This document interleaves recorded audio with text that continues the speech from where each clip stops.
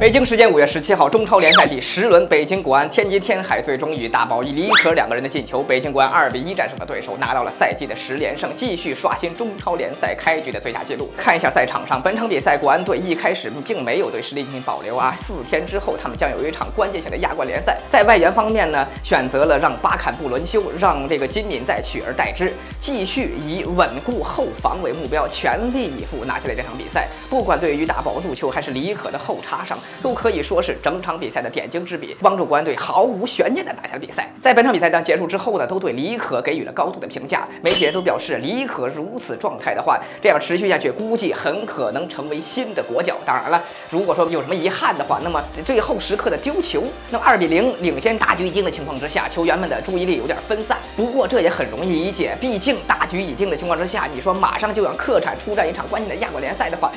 有选择的进行收留。又进行保留也是正常情况。国安队十连胜拿下了三十个积分，拿上了本赛季保级的这个安全分。同时呢，在十场比赛结束之后，打入了对方二十二粒进球，仅仅只丢了三个球，也是目前本赛季中超联赛当中啊。攻防两端均出色的球队，北京国安从去年潜心研究各种准备、各种战术，强补短板，终于收到了明显的效果啊！追平了广州恒大曾经在2017年的十连胜的记录，而十连胜也不是中国职业联赛的最多的记录。零六年山东鲁能泰山曾经创下了十三连胜的记录，而对国安而言呢，打破这个十三连胜的记录是慎重而道远呐。在六月份联赛休战之前呢，国安队最关键一场比赛恐怕就是下一轮的上海上港，这。或许又是一场天王之战。假设国安队能够闯过这关的话，那么这时隔十年之后重新登顶中国职业联赛的顶峰，对国安而言呢，不仅仅是一个梦想了。您觉得北京国安能不能实现这个